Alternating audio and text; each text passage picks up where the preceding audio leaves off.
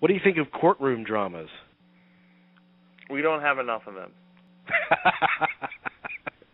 we got plenty of them on TV. And we do. I, that's probably why we don't have enough. We got like Oh. eight different series of courtroom I know. dramas. Okay. What? How many movies are on this list? Law and Order, uh, Law and Order, Boise. Law and Order. What goes on in an Idaho, Idaho courtroom? Oh my God. Okay. Uh, they uh, Total Film came out with the 50 greatest courtroom dramas. Oh my God. Fifty. Okay. All right. Just go. Oh. so I'll start. I'll start listing them, and you can tell me, you know, if you if anything strikes you. Okay. I remember really liking this movie. Number 50, Jagged Edge. Oh well, yeah. I mean, of course. I mean. Good flick, directed by. Do you remember? Oh. Um. But it's written. Wasn't it written by Joe Eszterhas or? Mhm. Mhm. I don't. I don't remember who directed it. I don't. Richard Marquand. Oh wow. Return of the Jedi was guy. his yeah his follow up to Jedi I think it was.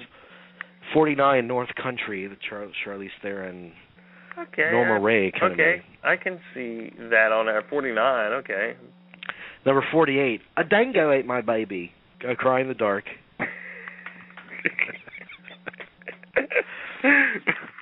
Number 47, High Crimes.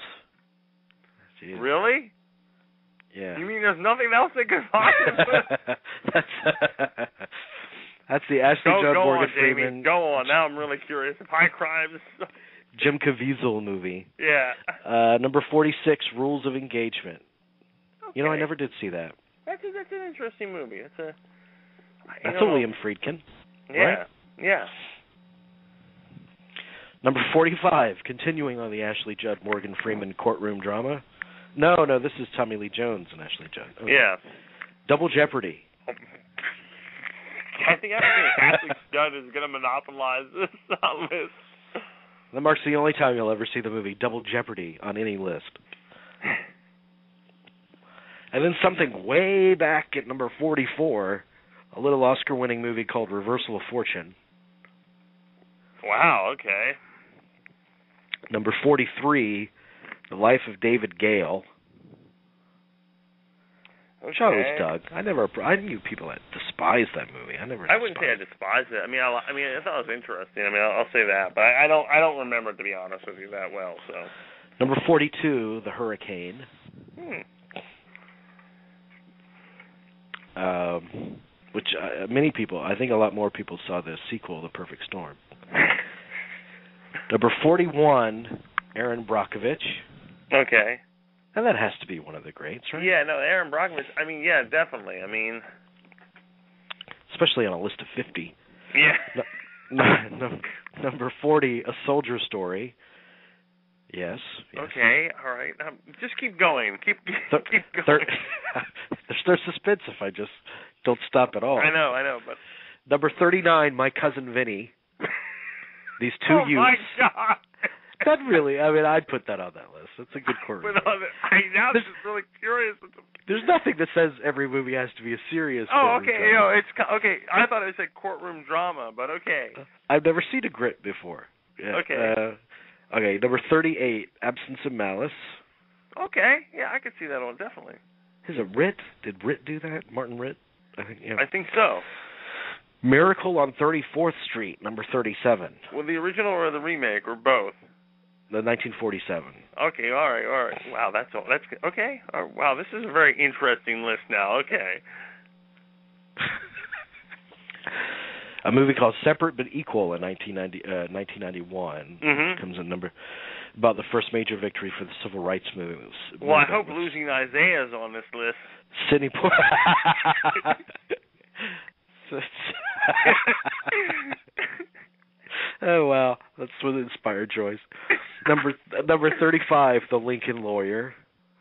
I that definitely deserves to be on the list because that's actually a good movie. So Number 34, I never looked at this as a court drama, but uh In the Bedroom. Does it have court stuff in it? I, I wouldn't think of it per se, but okay, it deserves because of the given the, the nature of the story and the yeah, it deserves to be on there. It's like Seeking Justice. Yeah.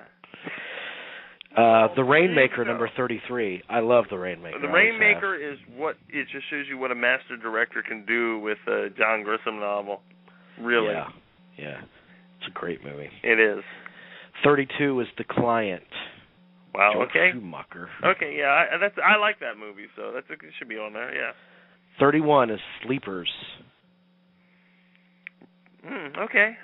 That's a good moment when De Niro lies for them. Yeah, it is. Yeah. A Time to Kill is number thirty.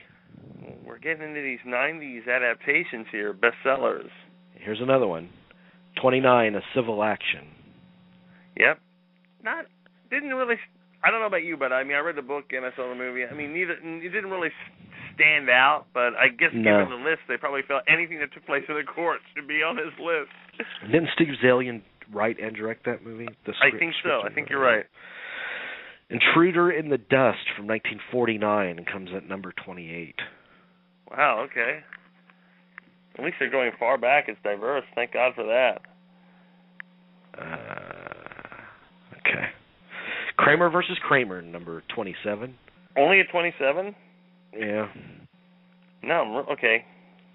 Movie from 1936 called Fury, starring Spencer Tracy. Oh, that's Tracy. famous. Isn't that? A, that's a Fritz Lang movie, isn't? Yeah, yeah, it is. It That's is. a famous movie. Yeah. Uh, wow. Director Fritz Lang was restricted by MGM, who demanded that he make his protagonist innocent and bolt on a happy ending. Mm. Primal Fear, number 25. Okay. Richard Gere.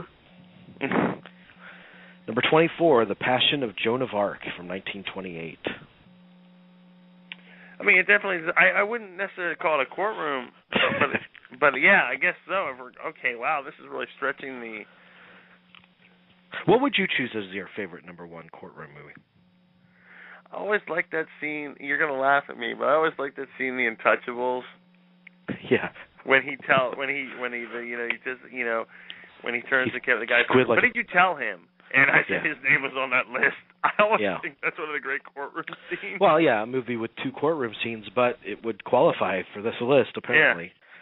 Uh, looking at their their choices. Number 23, The Caine Mutiny from 1954, Humphrey Oh, also a Bogart. few good men. Speaking of a Caine Mutiny, you got to put a few good men on here. Number 22, A Few Good Men. I'm like the amazing Kreskin all of a sudden. I mean, Their only quibble with the movie: Do lawyers really have teeth as perfect as Tom Cruise's? They might. Tom Cruise doesn't actually have perfect teeth. His his smile is crooked. His teeth are like leaning over to the right of his smile. They really are. That's why he wore braces a couple of years ago. Oh, okay. I didn't. I did not know that. You only only hear it here. That's why that's why people listen into this show. I know really about dental his. I'll find out what toothpaste he uses for next week. Amistad number 21. Okay. That was on cable the other night. It was just as boring on cable as it was in the theater. I want me free. I walked out like I want me refund. Uh, number 20, Witness for the Prosecution, 1957. oh, that's yeah. That definitely should be on there. Charles Laughton. Number 19, Michael Clayton. Okay. Yeah, definitely. Number 18, from 1966, Paul Scofield in A Man for All Seasons. Mhm. People versus Larry Flynt at number 17. Thank God. Good, good court. Yeah, good, good call. JFK, number 16. Mm, good. That's a good one. The Accused at 15. Okay. Definitely. I love this movie. Number 14, Presumed Innocent. That's a good one. Definitely should be on there. I love that movie. Philadelphia, number 13. Okay. 1967's In Cold Blood with Robert Blake at number 12. Mhm. Judgment at Nuremberg, 1961, num- number 11. I can tell you what my favorite courtroom drama is. Probably when I, I, I, I would think my favorite is The Verdict. Yeah. It's a great movie. Uh, So it has to play somewhere on this list. So Anatomy of a Murder is number 10. And that's a good. That's a great one too. Just came out Criterion. Mhm. And The Name of the Father, number 9. Mm-hmm. I I have no problem with any of these so far. So. Paths of Glory, number 8. Mm-hmm. 1960s Inherit the Wind at number seven. Okay. Well, absolutely. I mean, it, Yeah, just- yeah, but yeah. You can't have this list and not have some of these be on there. So. E- e- even even the the play Inherit the Wind Yeah. is like one of the classics, you know. Uh, number six is The Crucible from 1996. Mm, that's an interesting choice. Interesting movie. Breaker Morant, number five. Yes, definitely deserves to be on this list. Number four. Oh man, To Kill a Mockingbird, number four. Definitely. I mean, Yes, but now what's That's- ahead of that should be number that? one. Yeah, That it really should be. But what, I mean, now I'm really curious. It's ahead. Number three. You're out of order. And And just- justice for all. Yeah, yeah, of course. Number two. Wow. Okay, of course. Twelve Angry Men. Wow, what's number one? It has to be the one I chose, actually. I, it, it better be. Yep. Number one is the verdict. Mm-hmm. So number one and number two are Sidney Lumet movies for the best courtroom movies. Well, you can't ask for you know. There's there's a man who understood procedure. Yeah. Really yeah, did. you're right about that.